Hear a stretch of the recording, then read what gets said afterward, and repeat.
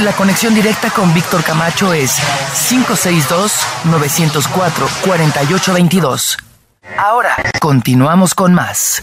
Perfecto, seguimos aquí en el programa de Los Desvelados. Saludos a todos ustedes que están en casa. Gracias por dejarnos acompañarles. Líneas telefónicas siguen abiertas. Es el 562-904-4822 de la República Mexicana, 01800-681-1847.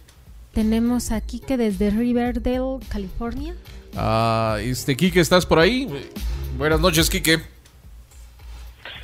Sí, me, uh, soy Ricardo Ortiz.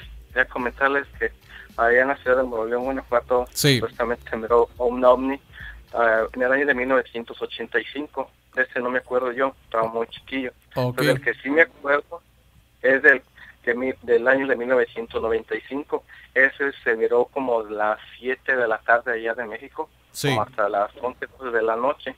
Y se miró como desde Moroleón, Uriangato y todo eso alrededor cerquita. ¿Pero esto qué fue? ¿Un tipo meteorio- meteorito o qué fue lo que...? No, un ovni. Un ovni se miró así, hacia todo grande, se, cu- se cubría ah, la- hacia arriba, póngale unas ah, 20 millas de aquí o unas 50 millas, Ajá. porque el objeto se miraba muy, muy grande y no toda la gente lo podía ver. Y ese fue el primero que vi yo, pues sí, sí, sí me asusté. Esto es Moroleón, dices, Ah, ¿verdad? Sí, en la ciudad de Moroleón. Esto es Ah, en... es como una 45 minutos de Morelia, Guanajuato. Ah, ok. ¿De Mor- Ah. Morelia, Guanajuato? Sí, a 45 minutos de ahí. Ok. Pero Ah. Morelia, Morelia es Michoacán, ¿no? Sí, Ok. Entonces queda esto en el estado de, de qué? ¿De Guanajuato? de Guanajuato. Ah, ok. Y eso fue en 1995 y eso tú lo miraste. Sí. Oh. Ah, sí. Sí, porque se da como con muchas como lo- los que están platicando ustedes ahí, sí. Con muchas ventanas, ya lo que me acuerdo ahorita, Ok. ya de eso hace unos 15 años, yo creo. Ah, y el otro, me contó mi amigo que en el 2005 también que se miró otro. Ah, él fue el que me platicó, el que lo había visto. Ajá. No, no sé qué dimensiones, no acabé de platicar con él. El Pero la 2005. cosa está que, sí, la cosa está que si sigue ese ah, ese tiempo de cada 10 años, que es el que para va a volver a aparecerse algo allá, Posiblemente. porque cada 10 años, uno me lo dijo un maestro de como del Cebetis, Ujú. hace en el 85, so, tiene un punto de, ah, de credibilidad. El 95, pues lo fue el que lo miré yo, como a las 7 de la noche. Sí. 2005 que me comentó acá mi mejor amigo, Ajá. se miró también. Y en la misma área. Ah, sí, desde la misma área. Ok. Ahora, esto que tú miraste, ¿lo miró más gente? ¿Había más gente contigo o tú estabas solo? Ah, cuando lo miré yo lo estaba solo, venía del trabajo. Ajá. Ah, este, y como iba de ahí, hacía el recorrido, ah, de ahí del, del trabajo a la casa eran como 20 caminos hacia el norte. Ajá. Y ahí ibas entonces, eh, ibas en el transporte. Y ahí pues estaba mirando todo el camino. Yo pensé que era, pues nunca había visto eso. Y dije, pues en la cosa están haciendo, am, no sé, una exposición o algo. Y después lo seguí mirando que estaba ahí arriba y arriba. Y, pues, no, no se iba ni, ni- pues, Eh. estaba totalmente confundido. ¿Escuchaste algún ruido o había algún zumbido o algo así? Ah, no, nada, solamente este- estaba ahí como ah, parado ahí. Ajá. No, no se iba a ningún lado. Eh, ¿Tenía luz este objeto? Mm, sí, me acuerdo. Sí. No, ¿No? no, tenía- tenía todos apagados. Pero dices que se veían las ventanillas. Sí. O sea, estaba, Ah. estaba la- eh, literalmente cerca de ti o más o menos a qué altura estaba. pues para ver del tamaño que se miraba, del tam que será una, una milla, unos dos, tres, cuatro, como de unos tres autobuses de allá desde este largo Ok. y unas unos autos de alto, sea, sí, bastante grande, Ujú. estaba cerquita. Ok. ¿Y esto cuánto duró ahí en, este parado en el cielo? Uh, yo creo unas 3, 4 horas, porque eso me dejó a dormir, eran las 12 de la noche, ya dije, mejor me voy a dormir, no voy a hacer nada malas. ¿Y no lograron tomar fotos, no fotografiaron, no videograbaron nada? No, estaban ni los, los, celulares todavía en ese entonces y no tenía cámara a la mano. Pues digo, va a haber durado tanto tiempo y dices tú que no salía ninguna luz, simplemente estaba este objeto ahí parado en el cielo, ¿no? Sí. Bueno, pues eh, y este reporte es de 1995 y algo muy parecido miró tu amigo en el 2005. Sí, no sé a qué tanto detalle, pero ya nomás de que hable, que hable con él en, los próximos días, ya le... También. que me quede bien y después se los, se los comento. Entonces, según la teoría que tú tienes, podría ser que cada 10 años un objeto de esas dimensiones esté apareciendo ahí.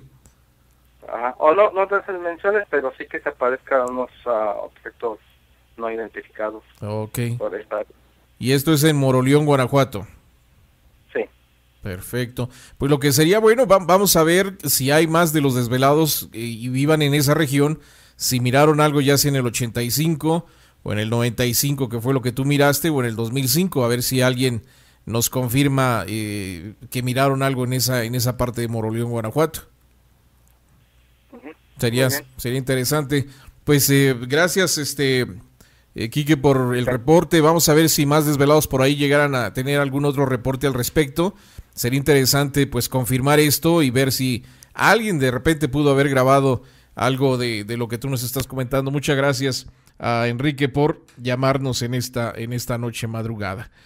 562-904-4822, nuestra línea telefónica de la República Mexicana, 01800 681 1847. Así que les invitamos para que pues compartan así como Enrique sus experiencias extrañas y raras. Hmm. Bueno, aquí hay varios desvelados que nos escriben. Muchas gracias a todos ustedes que nos hacen el favor siempre de hacernos llegar sus mensajes. Ahorita vamos a leer algunos de, los mensajes que ustedes nos, nos han enviado. Siempre es importante para nosotros, pues, ver qué es lo que está pasando donde ustedes viven. Y fíjense que hablando de reportes, nada más que no encuentro la, nota, aquí está. Dice que, eh, dice, asegura haber visto un ovni en el techo de su casa. La nota viene de un periódico de Loreto, me imagino que esto queda en Baja California. Ah, no, pero el periódico es peruano, dice aquí. Dice, sé que no me van a creer, pero lo que pasó el día de ayer en horas de la madrugada es verdad. Yo acostumbro levantarme a las 4 de la mañana para juntar mi agua, porque a esa hora siempre dan por aquí agua. Cuando me doy cuenta y miro al techo eh, de mi casa, comenzó a temblar. Le, llamé a mi esposo y le dije que había un sismo. Le dije que levantara a mis hijos y que los sacara a la calle. Cuando doy un paso más para ver qué era realmente, me doy con la sorpresa que en mi techo había algo redondo que flotaba y que daba un sonido bien agudo. Me quedé temblando, me quedé muda por unos segundos y salí corriendo, dice mi marido también fue testigo de esto. Luego se fue y voló muy lejos perdiéndose en el cielo. Dice, no tengo cómo comprobarlo, dice, porque había, eh, debido, dice, a la impresión, no me dio tiempo ni de agarrar mi celular para grabar un video o tomarle foto. Hasta ahora dice estoy con miedo por lo que vi anoche, dice este es un testimonio de Bessie Mari, Marilú Saboya, de 25 años, quien asegura haber visto un objeto extraño que flotaba sobre su techo y del cual pues hizo que todas las eh, láminas empezaran a temblar de su techo. Así que pues siempre hay reportes extraños, ¿no? Imagínate tú de repente tener pues una casita y el techo de la mina y un objeto encima de ti, ¿no? No, y aunque uno dijera que está preparado y que quiere ver estos seres o estas naves, de pronto tu cuerpo reacciona distinto, imagínate, y se paraliza uno, entonces pues no sabes qué hacer, pero pues afortunadamente el esposo pudo estar ahí para que pues también viera lo que ella, porque imagínate, dices, no es, no es cierto, no viste nada, estás alucinando y no, pues ahora sí ya son los dos. Dice, yo pensé que eran los gatos que estaban corriendo en el techo de la vecina, como siempre suele suceder, pero cuando salimos nos dimos cuenta que no era eso, casi todo el barrio escuchamos ese sonido extraño que emitía ese objeto y el sonido de las láminas, dice, realmente es como para no creerlo, pero es la verdad, contó otro vecino del lugar. Así que como ven, pues estos reportes son más comunes de lo que a veces pensamos, ¿no? Ya estamos listos, vamos nuevamente a nuestra pausa, regresamos para seguir platicando con ustedes en esta noche en el único y original programa de los desvelados aquí, a través de Desvelado Network.